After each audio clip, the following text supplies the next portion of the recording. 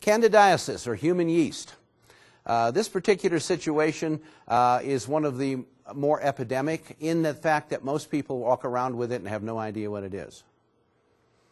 And again, it is more common in ladies than men, although that's not to say that men do not have yeast problems. They do. They have athlete's foot, jock itch, various other things.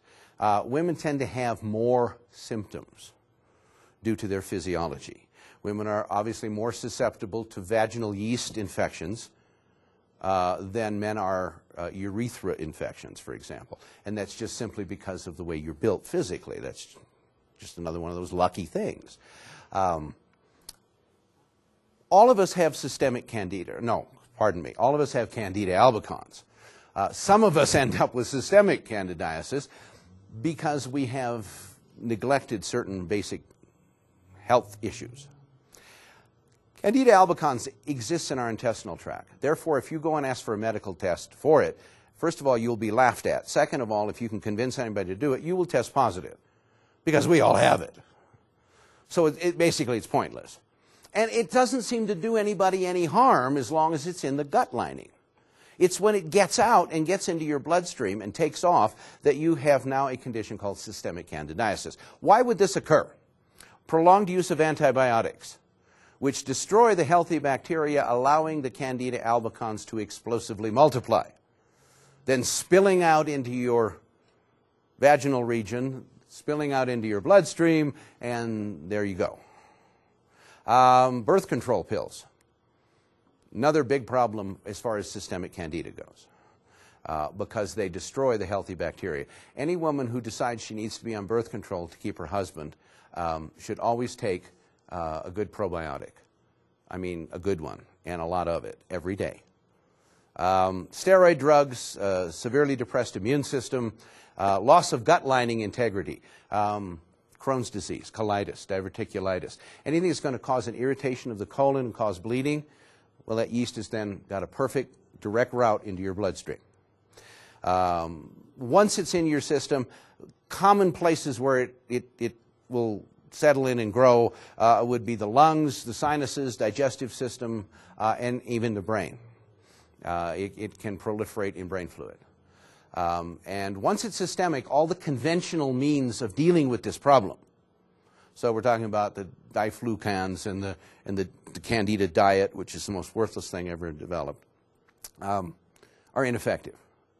Then we have to treat it in a slightly different way.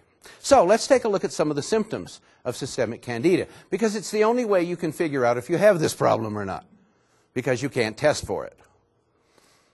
Fatigue and lethargy, poor memory, feeling spacey and out of touch with your environment, depression, burning and tingling, especially of the hands and feet, muscle weakness, muscle aches, uh, abdominal pain, constipation, diarrhea, or alternating back and forth is a very common sign.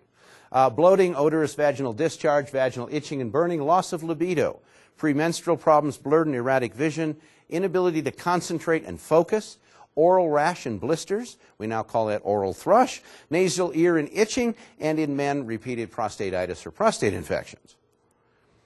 Now, again, if you've got one or two of these, you probably don't need to panic. But if I, again, just described your life, um, you might want to take uh, our full uh, complete self-test. Uh, and that is uh, available from our website, and we'll give you that at the end. Because uh, you can access the, the complete test and take it at home and find out. And the higher you score, obviously, on this test, uh, the more likely a systemic yeast is your problem. If, in fact, you do have a systemic yeast problem, I urge you to take care of that first. Get that cleaned up first. Because systemic yeast over time can mimic so many other problems. It can cause adult onset allergies that really aren't allergies at all. Uh, it can cause you to be hypersensitive to smells, odors, things in your environment. Uh, it can cause repeated sinus infections for which you take more antibiotics and create more yeast problems.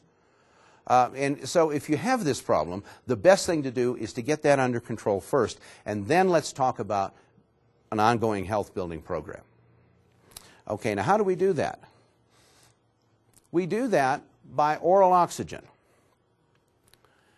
We have a formula that you can take orally that will raise your blood oxygen uh, to above 96% and keep it there for two to four hours at a time. And we do that several times a day over several weeks. This slowly but surely destroys the candida organism because it is anaerobic in nature. And it does not like and cannot thrive in an oxygen rich environment. And the beautiful thing about oxygen is it goes to every single cell of your body, including the brain, because all cells need oxygen for life. And so we are, we are attacking it wherever it may be hiding. Once we get finished with that, we reimplant the healthy bacteria.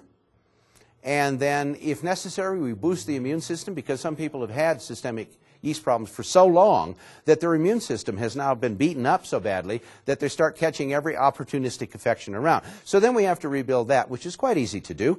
Uh, then, of course, like all of our health building programs, we urge people to eat a diet of whole foods, even though it, has very little nutrients, but it's better than nothing. Um, and then take what we call a full spectrum product, which we'll talk about in a bit.